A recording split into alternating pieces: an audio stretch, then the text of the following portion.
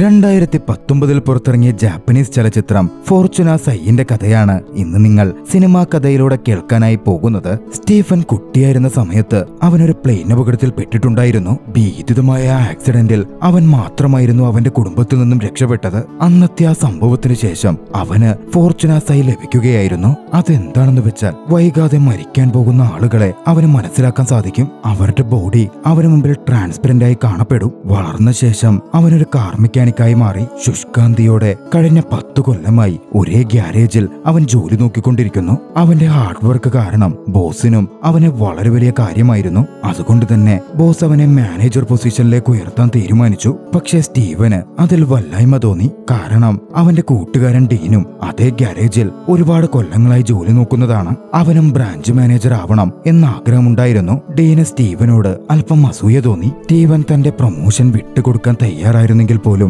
ഡീൻ അവനോട് അതിൽ ദേഷ്യം തോന്നിയിരുന്നു. സ്റ്റീവൻ ശരിയാക്കിയ കാറ് അതുകൊണ്ട് തന്നെ മനഃപൂർവം സ്റ്റീവൻ നശിപ്പിക്കുകയും ചെയ്തു. അവർ തമ്മിലുള്ള വാക്കുതർക്കത്തിനിടയിൽ ഡീൻ സ്റ്റീവനെ പിടിച്ചു തള്ളി. സ്റ്റീവൻ താഴെ വീണു. ആ വീഴ്ചയിൽ അവന്റെ ഫോൺ സ്ക്രീൻ പൊട്ടിപ്പോവുകയും ചെയ്തു. അന്ന് രാത്രിയിൽ സ്റ്റീവൻ ഒരു സ്റ്റോറിൽ തന്റെ ഫോൺ റിപ്പയർ ചെയ്യാൻ പോയി. അവിടെ വെച്ച് അവൻ ആലീസ് എന്ന പേരുള്ള സുന്ദരിയായ ഒരു പെൺകുട്ടിയെ പരിചയപ്പെട്ടു. സ്റ്റീവന്റെ ഫോൺ ശരിയാക്കി കൊടുക്കുകയും അതിനുമേൽ ഭാവിയിൽ പൊട്ടലൊന്നും വരാതിരിക്കാൻ വേണ്ടി ഒരു സ്ക്രീൻ പ്രൊട്ടക്ടർ അവൾ ആഡ് ചെയ്തു കൊടുക്കുകയും ഉണ്ടായി. സ്റ്റീവൻ ആലീസിനോട് നന്ദി പറഞ്ഞു. ഒപ്പം അവൾക്കുമേൽ അവനൊരു ആകർഷണവും തോന്നിയിരുന്നു. അടുത്ത ദിവസം ആലീസിനെ കാണുവാൻ സ്റ്റീവൻ പോകുന്ന സമയം അവൻ അടുത്തുകൂടെ ട്രാൻസ്പെറന്റ് ആയ ഒരാൾ നടന്നു പോകുന്നത് സ്റ്റീവൻ കണ്ടു. അയാളുടെ മരണം അടുത്തിരിക്കുന്നു എന്ന് സ്റ്റീവൻ മനസ്സിലാക്കി എന്താണ് സംഭവിക്കുന്നതെന്നറിയാൻ സ്റ്റീവൻ അയാളെ ഫോളോ ചെയ്യാൻ ആരംഭിച്ചു. പക്ഷേ അശ്രദ്ധമായി റോഡ് മുറിച്ചു കിടക്കുകയായിരുന്ന അയാൾ വേഗത്തിൽ വന്ന ഒരു കാർ കൊണ്ട് ഇടിക്കപ്പെടുകയും സ്റ്റീവന്റെ കൺമുമ്പിൽ വെച്ച് തന്നെ മരണപ്പെടുകയും ചെയ്തു. കൺമുമ്പിൽ നടന്ന ആ കാഴ്ച സ്റ്റീവന് ഷോക്കായി മാറി. അടുത്ത ദിവസം ജോലി ചെയ്യുമ്പോൾ മുഴുവനും സ്റ്റീവൻ ഒന്നിലും ശ്രദ്ധിക്കാൻ പറ്റുന്നുണ്ടായിരുന്നില്ല. അവൻ വല്ലാതെ ഡിസ്റ്റർബ്ഡായി കാണപ്പെട്ടു. പിന്നീട് സ്റ്റീവന്റെ ഫോൺ വീണ്ടും വർക്ക് ചെയ്യാതായി. ആലീസ് ജോലി നോക്കുന്ന സ്റ്റോറിലേക്ക് സ്റ്റീവൻ വീണ്ടും ചെന്നു. ഫോൺ കംപ്ലൈന്റ് ആയതുകൊണ്ട് പുതിയൊരു ഫോൺ വാങ്ങാം എന്ന് ചിന്തിച്ചായിരുന്നു അത്. പുതിയ ഫോൺ എടുക്കുന്നതിന് മുമ്പ് തന്റെ ഫോണിലെ ഡാറ്റകൾ ആലീസിന് കൈമാറ്റം ചെയ്യാനായി കൊടുക്കുന്ന നേരം അവളുടെ കൈ ട്രാൻസ്പെറന്റ് ആയി തുടങ്ങുന്നത് സ്റ്റീവന്റെ ശ്രദ്ധയിൽപ്പെട്ടു. ആലീസും മരണപ്പെടാൻ പോകുന്നു എന്ന് സ്റ്റീവൻ മനസ്സിലാക്കിയിരുന്നു. അവന്റെ ഉള്ളിൽ വല്ലാത്ത ഭീതി നിറഞ്ഞു വന്നു. സ്റ്റീവൻ ആകെ അസ്വസ്ഥനായി വേഗം പുറത്തേക്കിറങ്ങി അല്പമൊന്ന് ചിന്തിച്ച സ്റ്റീവൻ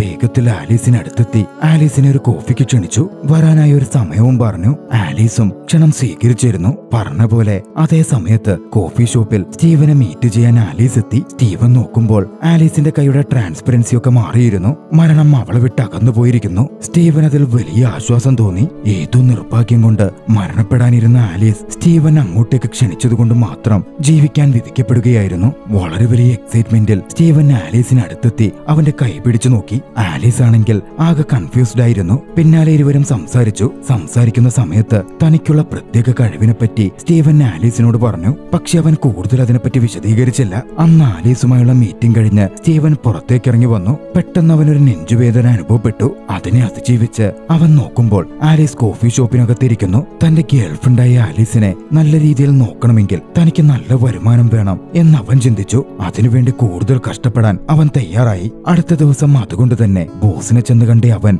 ഗരേജിന്റെ ബ്രാഞ്ച് മാനേജർ ആവാം എന്ന കാര്യം സന്തോഷത്തോടെ അംഗീകരിച്ചു. അടുത്ത ദിവസം മുതൽ സ്റ്റീവൻ ബ്രാഞ്ച് മാനേജറായി തന്റെ ഡ്യൂട്ടി ആരംഭിക്കുകയും ചെയ്തു. വളരെ കർക്കശമായി സത്യസന്ധമായിട്ടായിരുന്നു സ്റ്റീവൻ ജോലി നോക്കിയിരുന്നത്. അന്ന് വൈകുന്നേരം ആലിസ് സ്റ്റീവനെ കാണാൻ ഗ്യാരേജിലേക്ക് എത്തി. ഒന്നിച്ച് സംസാരിക്കുമ്പോൾ തലേ ദിവസം ഉണ്ടായ ഒരു സംഭവത്തെപ്പറ്റി ഭീതിയോടെ ആലീസ് പറഞ്ഞു. അവൾ സ്ഥിരമായി യാത്ര ചെയ്യുന്ന വഴിയിലുള്ള ഒരു കെമിക്കൽ പ്ലാന്റിൽ ഇന്നലെ ഉഗ്ര സ്ഫോടനം ഉണ്ടായത്രേ അതും കൃത്യം. താൻ ജോലി കഴിഞ്ഞ് മടങ്ങിപ്പോകുന്ന സമയത്താണ് അത് സംഭവിച്ചതെന്നും സ്റ്റീവനെ കാണാൻ താൻ വന്നതുകൊണ്ട് താൻ അതിൽ നിന്ന് രക്ഷപ്പെട്ടതെന്നും ആലീസ് കൂട്ടിച്ചേർത്തു. അതുകൊണ്ട് തന്നെ കഴിഞ്ഞ ദിവസം കോഫിക്ക് ക്ഷണിച്ചതിൽ സ്റ്റീവനോട് നന്ദി പറയാനായിട്ടായിരുന്നു ആലീസ് അപ്പോൾ അങ്ങോട്ടേക്ക് എത്തിയിരുന്നത്. സ്റ്റീവൻ അതിൽ വല്ലാത്ത അഭിമാനം തോന്നി സന്തോഷവും അനുഭവപ്പെട്ടു. താൻ ഭാരമായി കരുതിയിരുന്ന തന്റെ സ്പെഷ്യൽ എബിലിറ്റി കാരണം തന്റെ പ്രിയപ്പെട്ട പെണ്ണിനെ തനിക്ക് പ്രൊട്ടക്ട് ചെയ്യാൻ സാധിച്ചല്ലോ എന്ന് അവൻ ചിന്തിച്ചു. സ്റ്റീവന്റെ സ്വഭാവത്തിൽ അന്നു മുതൽ മാറ്റങ്ങൾ കണ്ടു തുടങ്ങി. സ്റ്റീവൻ എല്ലാവരോടും ഓപ്പണായി ഇടപെടുകാനും കൂടുതൽ ചെയർഫുള്ളായി നിൽക്കാനും ഒക്കെ ആരംഭിച്ചു. സ്റ്റീവന്റെ ബോസിന്റെ ഭാര്യയ്ക്കും അവന്റെ ആ മാറ്റത്തിൽ അല്പം അതിശയവും കൗതുകവും തോന്നി. മുമ്പൊക്കെ സ്റ്റീവൻ ശരിക്കും ഒതുങ്ങിക്കൂടിയ ഒരാളായിരുന്നു. സ്റ്റീവന് മുമ്പ് ഒരു ഗേൾഫ്രണ്ട് ഉണ്ടായിരുന്നു. പക്ഷെ തന്റെ ഉള്ളിലെ പ്രണയമൊക്കെ അവളോട് തുറന്നു പറയാൻ സ്റ്റീവനൊട്ടും ധൈര്യമുണ്ടായിരുന്നില്ല. ഏറ്റവും ഒടുവിൽ ആ പെൺകുട്ടി മറ്റൊരാളുടെ ഗേൾഫ്രണ്ടായി സ്റ്റീവനെ അത് തകർത്തു കളഞ്ഞിരുന്നു. നാളുകൾ കടന്നുപോയിക്കൊണ്ടിരുന്നു. സ്റ്റീവന്റെ നേതൃത്വത്തിൽ അവനെ ഏൽപ്പിച്ച ബ്രാഞ്ച് വളരെ മികച്ച രീതിയിൽ മുന്നോട്ടു പോയി. ഒരു ദിവസം ബോസിനെ കാണാൻ അവൻ ഹെഡ് ഗ്യാരേജിലെത്തി അവിടെ എത്തുമ്പോൾ ബോസ് അവിടുത്തെ ജോലിക്കാരനായ ഡീനിനെ വലിയ രീതിയിൽ ഒച്ചയെടുക്കുന്നതായിരുന്നു കണ്ടത്. ഒരു കസ്റ്റമറിന്റെ കാറ്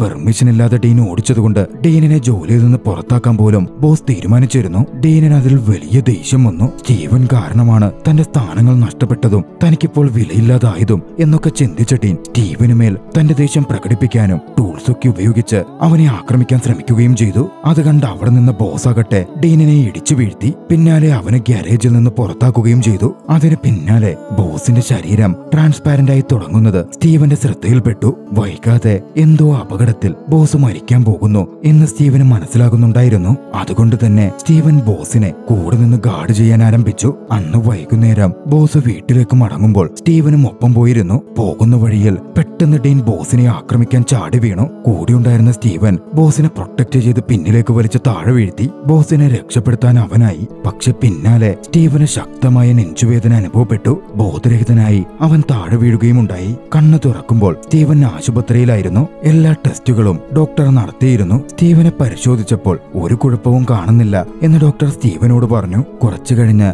ആശുപത്രി കോറിഡോറിൽ സ്റ്റീവൻ ഇരിക്കുമ്പോൾ അവന്റെ മുമ്പിലൂടെ ട്രീറ്റ്മെന്റിലുള്ള ഒരു കൊച്ചു പെൺകുട്ടി നടന്നു പോകുന്നുണ്ടായിരുന്നു. ആ പെൺകുട്ടിയുടെ ശരീരം ട്രാൻസ്പെറന്റ് ആയി തുടങ്ങുന്നത് സ്റ്റീവന്റെ ശ്രദ്ധയിൽപ്പെട്ടു. ആ പെൺകുട്ടിയെ രക്ഷപ്പെടുത്തണമെന്ന് ചിന്തിച്ച് സ്റ്റീവൻ എഴുന്നേറ്റ് ആ പെൺകുട്ടിയുടെ പിന്നാലെ ചെല്ലാൻ ആരംഭിച്ചതും പെട്ടെന്ന് അവനെ ചികിത്സിച്ച ഡോക്ടർ വന്ന് അവനെ തടഞ്ഞു. യാഥാർത്ഥ്യത്തിൽ ആ ഡോക്ടറിനും സ്റ്റീവനുള്ള അതേ എബിലിറ്റി അതായത് ഫോർച്ചുനാസായി ഉണ്ടായിരുന്നു. ഡോക്ടർ സ്റ്റീവനുമായി തനിച്ച് സംസാരിക്കാൻ തുടങ്ങി. തങ്ങൾക്ക് ഫോർച്ചുനാസായി ഉണ്ടെന്ന് വെച്ച് ആരുടെയും വിധികളിൽ ഇടപെടാൻ നമുക്ക് അനുവാദമില്ലെന്നും അത് ചെയ്യുന്നത് ശരിയല്ല എന്നും ഡോക്ടർ സ്റ്റീവനോട് പറഞ്ഞു. ഇനിയെങ്ങാൻ അങ്ങനെ നമ്മൾ വിധികളിൽ ഇടപെട്ടാൽ അതിന് നമുക്ക് വലിയ വില തന്നെ കൊടുക്കേണ്ടി വരും എന്നും ഡോക്ടർ കൂട്ടിച്ചേർത്തു. സ്റ്റീവൻ അന്ന് ഒരു കാര്യം മനസ്സിലായിരുന്നു. തനിക്ക് ആ കഴിവുണ്ടെങ്കിലും മരണപ്പെടാൻ പോകുന്ന വ്യക്തികളുടെ കാര്യത്തിലൊന്നും താൻ ഒരിക്കലും ഇടപെടരുതെന്ന് എല്ലാത്തിനും ഉപരി താൻ തന്റെ ജീവിതത്തിനാണ് വാല്യൂ കൊടുക്കേണ്ടതെന്ന് സ്റ്റീവൻ ചിന്തിച്ചുകൊണ്ട് തന്നെ തന്റെ ജീവിതത്തിന് വേണ്ട കാര്യങ്ങൾ ചെയ്യാൻ തീരുമാനിച്ചുറപ്പിച്ചിരുന്നു. അതല്ല ആദ്യമായി അവൻ ചെയ്തത് ആലീസിനെ കണ്ട് അവളോട് പ്രണയം തുറന്നു പറയലായിരുന്നു. ആലീസ് അവന്റെ പ്രപ്പോസൽ സന്തോഷത്തോടെ സ്വീകരിച്ചു. അവരിരുവരും ലവേഴ്സ് ആവുകയും ഡേറ്റ് ചെയ്യാൻ ആരംഭിക്കുകയും ചെയ്തു. ഇതിനിടയിൽ സ്റ്റീവൻ ബോസുമായി കാര്യമായി സംസാരിക്കുകയും ഡീനിനെ ജോലിയിലേക്ക് തിരികെ എടുപ്പിക്കുകയും ചെയ്തു. സ്റ്റീവന്റെ മഹാമനസ്കത കാരണം ഡീനിനും അവനോട് ബഹുമാനവും സ്നേഹവും തോന്നാൻ ആരംഭിച്ചിരുന്നു. സന്തോഷത്തോടെ നാളുകൾ പോയിക്കൊണ്ടേയിരുന്നു. പക്ഷേ അത്രമേൽ സന്തോഷം അനുഭവിക്കുമ്പോഴും ബാല്യകാലത്തെ ട്രോമ സ്റ്റീവനെ അറ്റാക്ക് ചെയ്യാറുണ്ടായിരുന്നു. ഈ സന്തോഷമൊക്കെ നിലനിൽക്കുമോ എന്നൊരു ആശങ്ക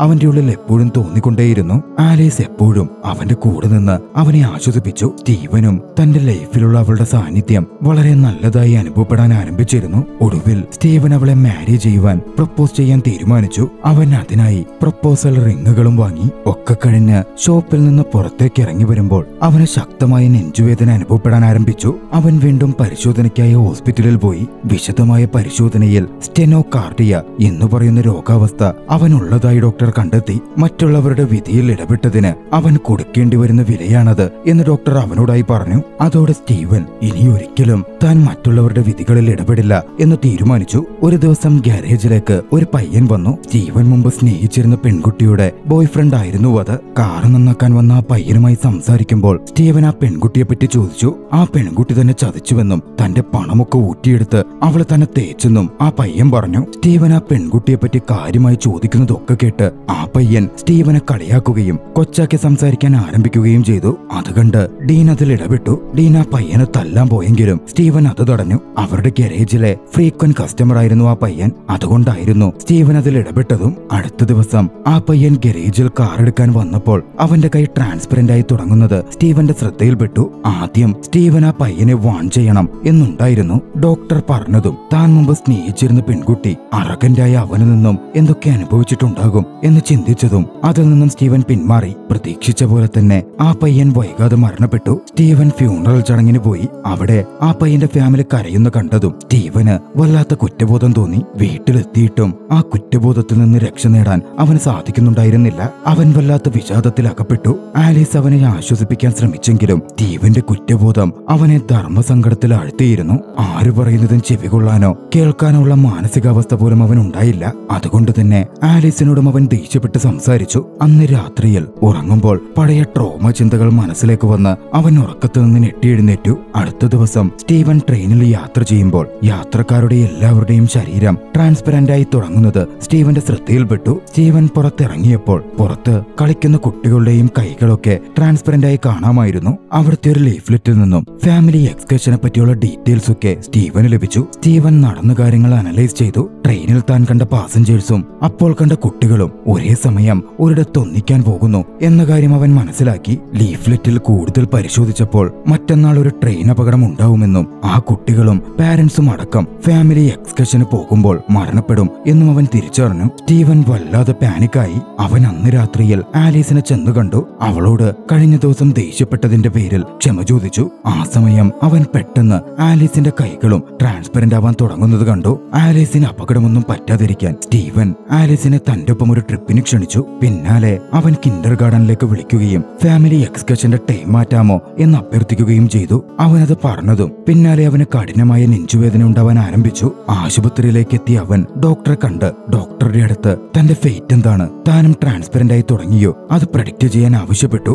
ഡോക്ടർ ഒന്നും വിട്ടുപറഞ്ഞില്ല. പക്ഷേ നീ മറ്റുള്ളവരുടെ വിധിയിൽ ഇടപെടാൻ തുടങ്ങിയാൽ അത് നിന്റെ മേൽ വലിയ പ്രശ്നമായി ഭവിക്കും എന്ന് അദ്ദേഹം കൂട്ടിച്ചേർത്തു. എന്നിരുന്നാലും സ്റ്റീവന് ശരിയെന്ന് തോന്നുന്ന ആ കാര്യം പ്രവർത്തിക്കണമായിരുന്നു. താൻ ചെയ്യാൻ പോകുന്ന കാര്യങ്ങൾക്ക് മുമ്പ് സ്റ്റീവൻ ഡീനിനെ ചെന്ന് കണ്ടു. ഗരേജിന്റെ ഉത്തരവാദിത്തവും ഡീനിനെ ഏൽപ്പിച്ചു. ഗിഫ്റ്റ് വാങ്ങി ബോസിനെയും വൈഫിനെയും ചെന്ന് കണ്ട് ഇത്രനാൾ തനിക്ക് വേണ്ടി ചെയ്ത ഉപകാരങ്ങൾക്ക് അവരോട് നന്ദി പറഞ്ഞു. ശേഷം അവൻ ആലീസിനായി ഒരു കത്തെഴുതുകയും ആ കത്ത് ഡ്രോയറിൽ നിക്ഷേപിക്കുകയും ചെയ്തു. അടുത്ത ദിവസം താൻ പറഞ്ഞ പോലെ തന്നെയും കാത്ത് ആലീസ് വീട്ടിലുണ്ടാകും എന്ന് സ്റ്റീവൻ ചിന്തിച്ചിരുന്നു. പക്ഷേ ആ സമയം ആലീസിൽ നിന്നും ഒരു മെസ്സേജ് സ്റ്റീവന് വന്നു. തന്റെ സഹപ്രവർത്തക രോഗിയായതിനാൽ തനിക്ക് അർജന്റായി വർക്കിന് പോകേണ്ട വരുമെന്നും ട്രിപ്പ് നടക്കില്ലെന്നും ഞാൻ ട്രെയിനിനായി വെയിറ്റ് ചെയ്യുകയാണ് എന്നുമായിരുന്നു അത്. അത് കണ്ടതും സ്റ്റീവൻ വേഗത്തിൽ ടെൻഷനോടെ പുറത്തേക്കിറങ്ങി. പക്ഷെ പുറത്തിറങ്ങിയതും അവനെ പിടികൂടാൻ പോലീസ് കാത്തു നിൽക്കുന്നുണ്ടായിരുന്നു കിൻഡർ ഗാർഡനിൽ വിളിച്ച് എക്സ്കഷൻ മാറ്റിവെക്കാൻ സ്റ്റീവൻ പറഞ്ഞ കാര്യങ്ങൾ കിൻഡർ ഗാർഡനിലെ സ്റ്റാഫ് തെറ്റിദ്ധരിക്കുകയും സ്റ്റീവന് പ്രശ്നക്കാരനായി കണ്ട് പോലീസിന് റിപ്പോർട്ട് ചെയ്യുകയുമായിരുന്നു ചെയ്തത്. പോലീസ് തന്നെ അറസ്റ്റ് ചെയ്യുമെന്ന് മനസ്സിലായതോടെ മറ്റു വഴികളില്ലാതെ സ്റ്റീവൻ അവിടെ നിന്ന് ഓടി രക്ഷപ്പെടാൻ ശ്രമിക്കേണ്ട വന്നു. ഒടുവിൽ പോലീസിൽ നിന്ന് രക്ഷ നേടി ഓടിയവൻ റെയിൽവേ സ്റ്റേഷനിലേക്ക് എത്തി. അപ്പോഴേക്കും ആലീസും കുട്ടികളും അടക്കം എല്ലാവരും ട്രെയിനിൽ കയറിക്കഴിഞ്ഞിരുന്നു പിന്നാലെ അവൻ പുറത്തുനിന്നൊരു ടാക്സി പിടിച്ച്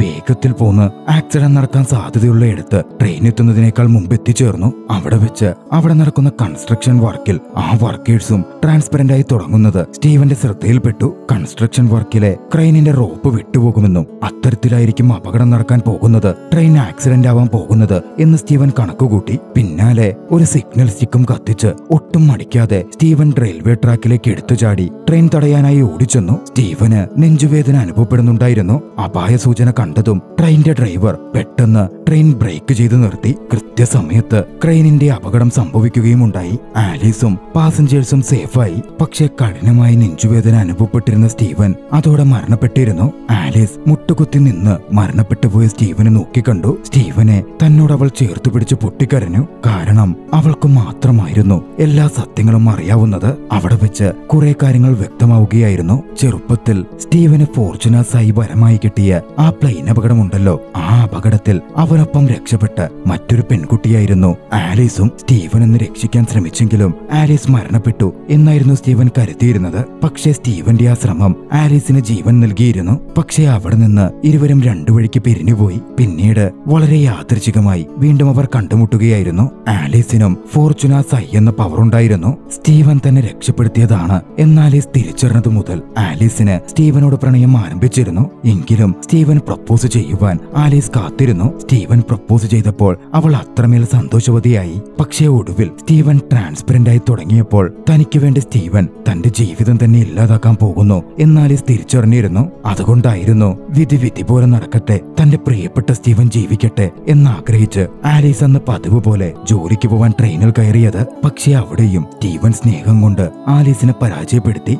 ആലീസിന് അവൻ ജീവൻ നൽകുകയും ആലീസിനായി തന്റെ ജീവൻ അവൻ ത്യാഗം ചെയ്യുകയും ചെയ്തു. സ്റ്റീവന്റെ ഫ്യൂണറലിന് ശേഷം ആലീസ് അവന്റെ വസ്തുക്കൾ ശേഖരിക്കാൻ അവന്റെ അപ്പാർട്ട്മെന്റിലെത്തി സ്റ്റീവൻ എഴുതിവെച്ച ലെറ്റർ ഡ്രോയറിൽ നിന്നും ആലീസിന് ലഭിച്ചു. അതിനകത്ത് ആലീസിനായി അവൻ വാങ്ങിയ പ്രപ്പോസൽ റിങ്സും ഉണ്ടായിരുന്നു. സ്റ്റീവൻ തന്നെ വിവാഹം കഴിക്കാൻ ആഗ്രഹിച്ചിരുന്നു. എന്നാൽ ഈ നിമിഷം തിരിച്ചറിഞ്ഞു. അവളുടെ കണ്ണുകൾ ദുഃഖത്താൽ നിറഞ്ഞു. തന്റെ ജീവിതത്തിനായി സ്റ്റീവൻ ജീവിതം പോലും ത്യാഗം ചെയ്തു എന്ന് തിരിച്ചറിഞ്ഞ ആലീസ് സ്റ്റീവന്റെ ആഗ്രഹം പോലെ സന്തോഷത്തോടെ തുടർന്ന് ജീവിക്കണം എന്ന് ചിന്തിക്കാൻ ആരംഭിച്ചു. സ്റ്റീവന്റെ ഏറ്റവും വലിയ ആഗ്രഹം ആലീസ് സന്തോഷത്തോടെ ജീവിക്കണം എന്നത് മാത്രമായിരുന്നു ആ ദൃശ്യത്തോടെ ചലച്ചിത്രം അവസാനിക്കുകയാണ്. നിങ്ങൾക്ക് ഈ കഥ ഇഷ്ടമായെങ്കിൽ വീഡിയോ ലൈക്ക് ചെയ്യുക അഭിപ്രായങ്ങളും നിർദ്ദേശങ്ങളും കമന്റുകളിൽ രേഖപ്പെടുത്തുക. കഴിയുമെങ്കിൽ ചാനൽ സബ്സ്ക്രൈബ് ചെയ്തും കൂട്ടുകാർക്ക് ഷെയർ ചെയ്തു കൊടുത്തും ഞങ്ങളെ സപ്പോർട്ട് ചെയ്യുക. അടുത്ത എപ്പിസോഡിൽ മറ്റൊരു മികച്ച ചലച്ചിത്രവുമായി നമുക്ക് കണ്ടുമുട്ടാം. അതുവരെ ബായ്